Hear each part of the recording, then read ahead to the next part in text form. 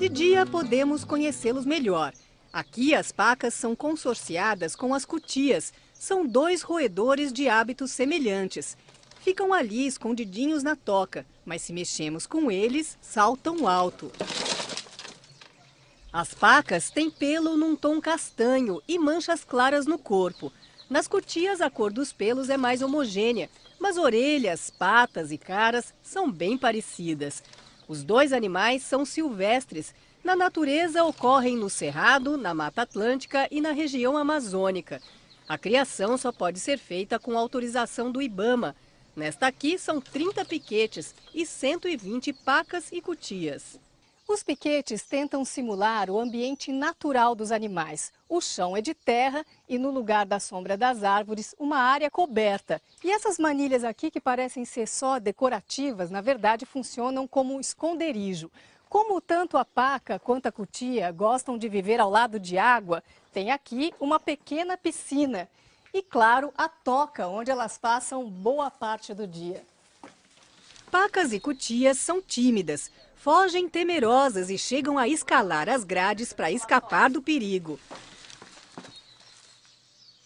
Por isso, o recinto tem um fechamento caprichado. No local da criação, elas elegem um cantinho para suas necessidades, mantendo o resto da área limpo.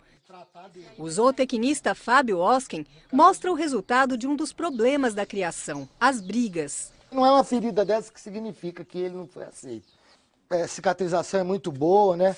Basta passar o spray de dois em dois dias até cicatrizar. Não tem problema nenhum, não é motivo de óbito. E sim de observação do manejo. Se vê que ele não está se dando bem ali, é o caso de tentá-la em outro grupo. Para quem lida com os animais, um cuidado importante é com os dentes. Na hora que a gente está trabalhando com os animais, não é hora de brincadeira, hora de ter respeito, né? Porque uma mordida desse animal é um perigo, né? Então, se você não gasta o dente, chega a um ponto que ele cresce tanto, tem dificuldade até de fechar e comer. Tão grande que estão os dentes. Aí a gente tem que cortar com alicate o dente. Para gastar os dentes, são oferecidos galhos de goiabeira e eucalipto. E pelas marcas na madeira, são bem apreciados. Os animais também gostam de tomate, berinjela, giló, abobrinha. Tudo isso plantado na própria fazenda para garantir a oferta de alimentos. Eles recebem também farelo de soja e trigo e grãos de milho. É na comida que o Fábio coloca o vermífugo, o principal medicamento na criação. De quatro em quatro meses, né, a gente utiliza o vermífugo em pó, vermífugo para suínos, né, não tem um para paca. Um sachê desse dá para quatro pacas ou cutias. E é muito importante, né, porque o, a incidência de endoparasitas pode comprometer o ganho de peso, desenvolvimento dos animais e principalmente os filhotes. Por ter menos resistência, podem vir até a óbito por questões de verminose. O zootecnista destaca a simplicidade da criação. Como animais silvestres, quanto menos mexer com eles, menos estresse. Para Adão Nunes, que trabalha aqui há sete anos como gerente, o segredo é a observação. Tem que ficar muito de olho na alimentação, para ser saudáveis, vermifugação e após o cruzamento. Ah, os animais como paca, principalmente, quando vai cruzar, um machuca muito o outro. Porque a fêmea normalmente não aceita o macho. A fêmea normalmente é forçada a copular com o macho. A explicação para esse comportamento está na anatomia do pênis do animal. Olha só que curioso. Você vê aqui, ó, pequenos espinhos que existem no pênis. Por isso aquele sangramento, por causa desses pequenos espinhos existentes nos dois lados do pênis de todo macho. Nossa, coitada da pênis. o sangue na vulva desta paca indica que ela está no cio.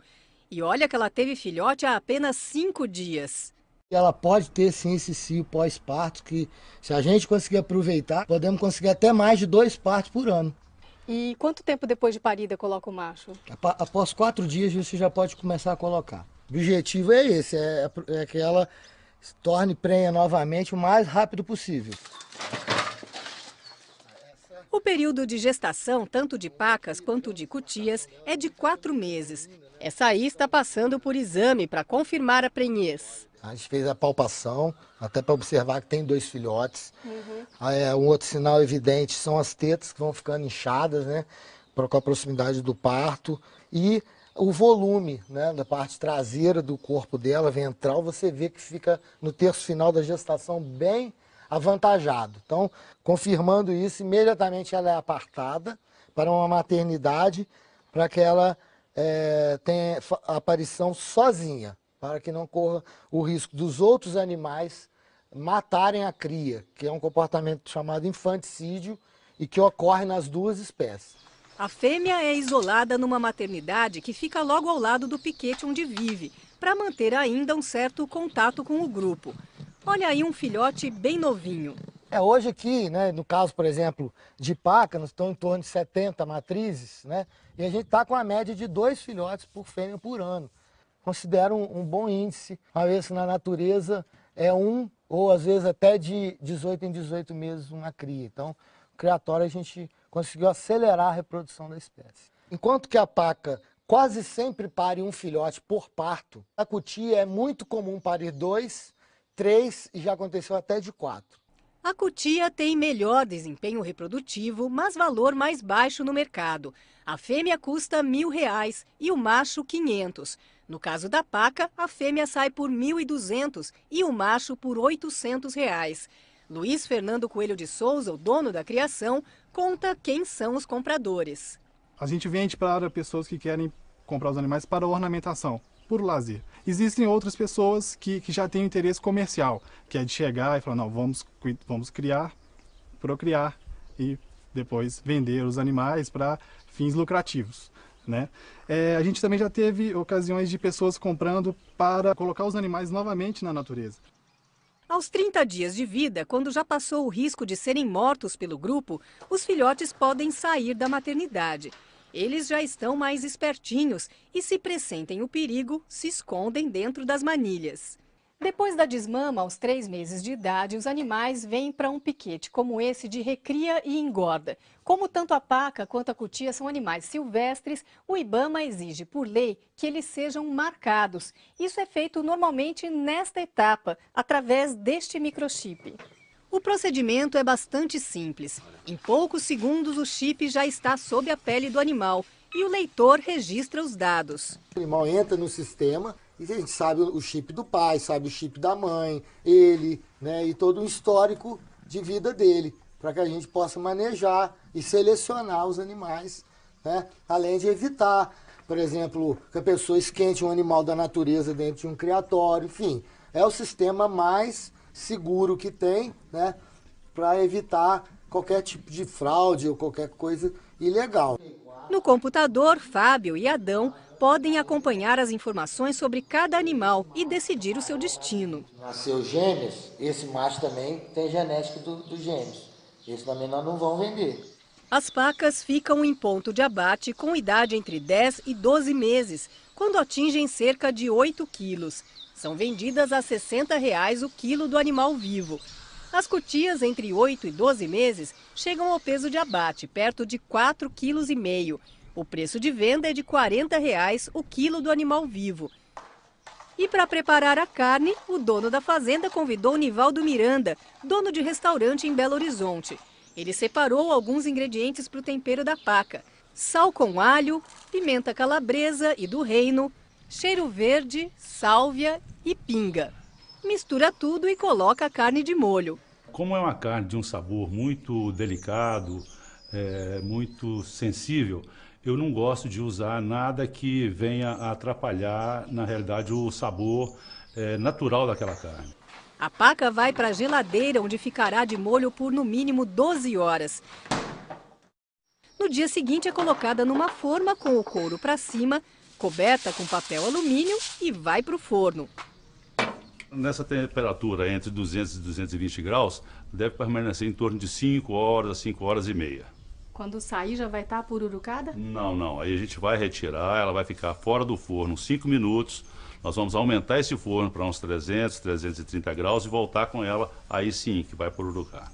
E o corinho dela é diferente do couro de um porco, por exemplo? Ah, com certeza. Ele tem mais, parece que tem mais colágeno. Ele é mais. É tanto que ele não pururuca por inteiro, igual pururuca um, uma leitoa ou um porco. Porque o couro é mais gelatinoso então ele vai pururucar por partes, não, não no total. Enquanto a paca está assando, aproveitamos para conhecer um pouco mais a fazenda. Outro animal silvestre criado aqui é a queixada, que exige piquetes bem maiores, com mais de 3 mil metros quadrados. Bom, além da paca pururuca, olha só, o Nivaldo preparou pra gente um pernil de queixada assado e a cutia ensopada. E nós vamos poder experimentar tudo isso agora. Vou trocar um pernilzinho para ela, hein? Ixi, Isso é uma parte nobre, né, querida? acho que eu me dei bem, hein, Nivaldo? Com certeza. Fábio, uma carne bem suave, né? Não é muito gordurosa e tem um saborzinho um pouquinho doce. E sem ser aquela carne assim seca, né? Ela é mais macia do que um peito de frango. E Nivaldo, tem mais carne do que eu imaginava aqui numa paquinha só, hein? Com certeza. É, é muito comum as pessoas imaginarem, por exemplo, uma paca de 5 quilos. É, as pessoas, ah, mas é uma paca dessa, é, depois dela pronta, dá para muito poucas pessoas. Mas muito pelo contrário. Os ossos são extremamente finos. Ou seja, então, é, ela é quase por completo é, carne maciça. Rende bem, então. Muito. Então vamos comer? Vamos lá.